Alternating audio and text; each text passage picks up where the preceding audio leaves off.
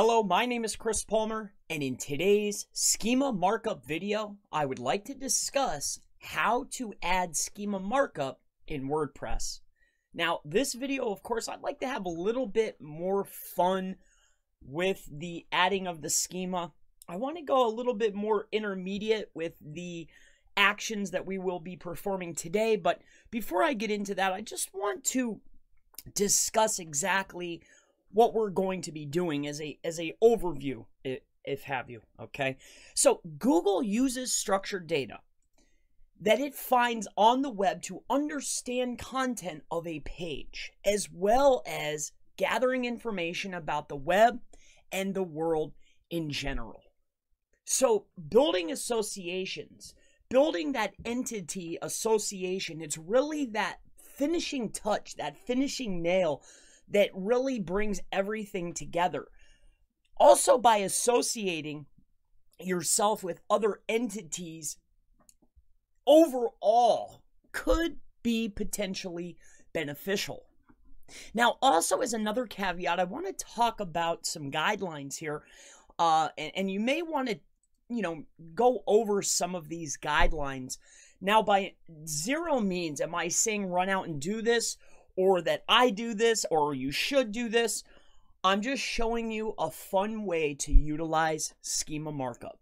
So let's not waste any time. I, I want to, following this uh, procedure, I want to just quickly, uh, uh, as a brief overview, because I'm a visual, I, I want to say if maybe we had a website and it's about whatever the case is, and maybe we were to employ a service that were to maybe have a iframe, right? And an iframe is a window into another site, amongst other things. But what if we were to have a site that we framed? We gave this frame to a service that would then distribute our frame to thousands, if not millions, of other sites to then associate our brand, our business, our entity, right? Through structured markup, because when it is found and crawled and seen by Google, it's going to start making those associations. It's just an idea, you know, again, I just something that I've been playing with and I'd like to share with you today.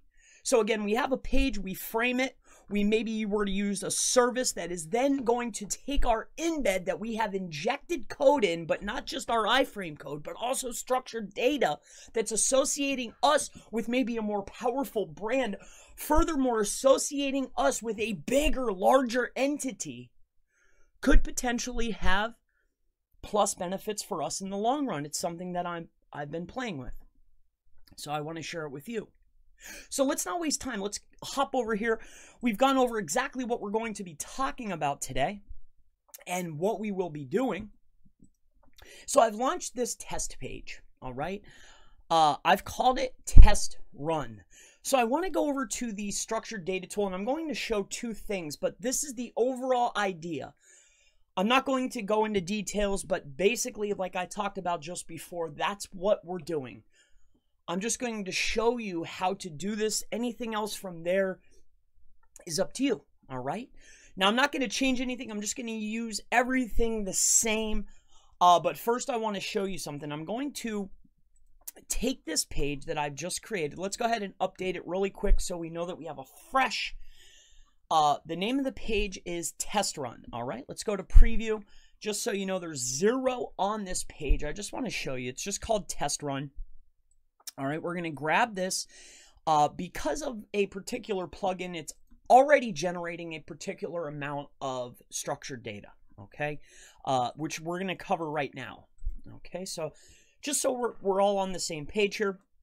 Plus, I want to show some other stuff. We're just going to have fun with it. That's the overall goal here.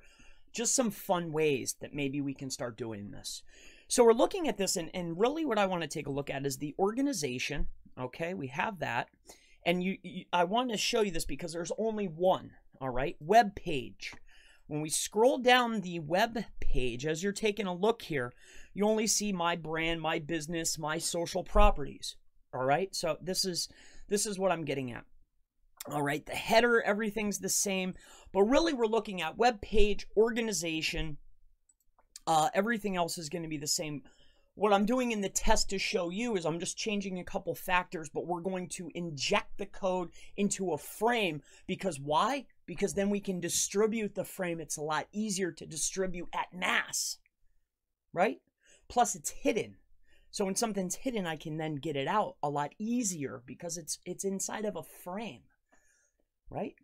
So uh, let's head over here. Now, I have actually taken the liberty to uh, go ahead and write up some code here. Now, I have this frame. Here's the frame that we're going to use. It's from a YouTube video that is mine, so I don't feel any type of way of using it. So, let's go ahead and go undo. I was playing around with this just before. Uh, so, edit, undo. And edit, undo. I guess we could just go ahead and take that right in there. All right, so we've taken the frame. And then what we've done is we've taken the code, all right, the schema code here.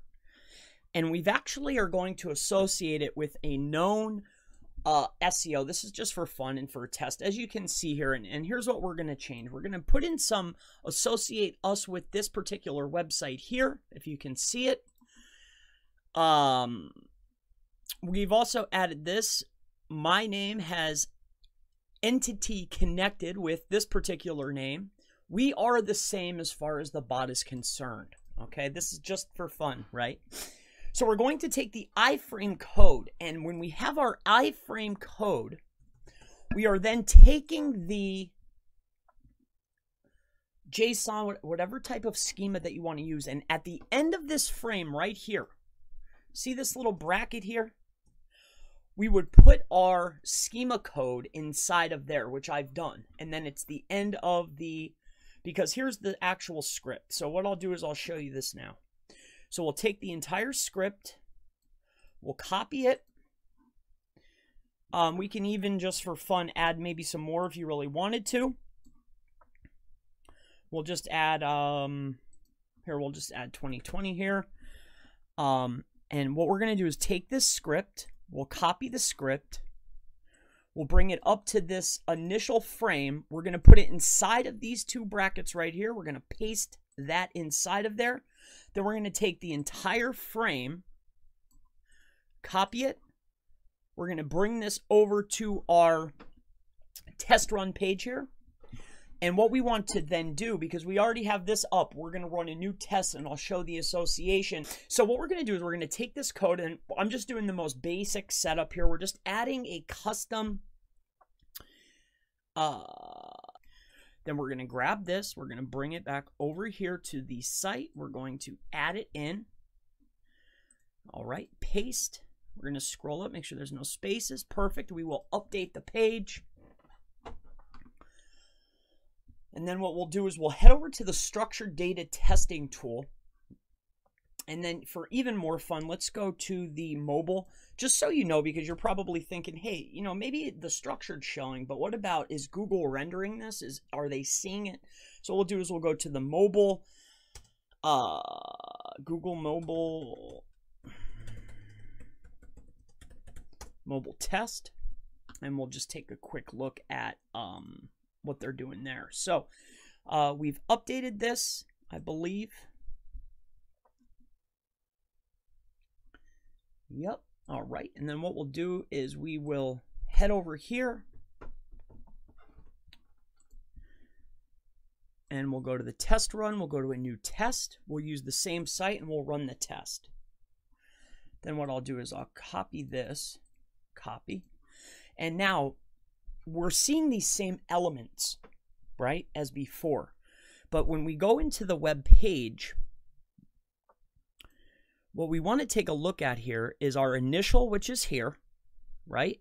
But as you noticed here, we now have two because we're associating. And the reason being is because I didn't erase anything else because I'm just showing you within a page that I show publicly all the time. I didn't want to bring in any other sites or anything. I'm just going to use this page because it's an email collection uh, website.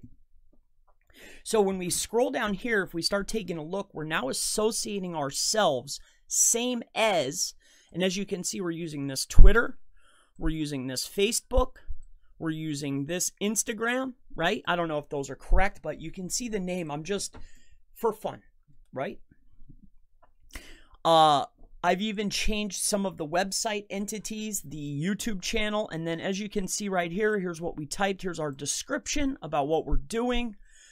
Uh, Chris Palmer SEO has entity connected with this particular individual. We are the same as far as the bot is concerned.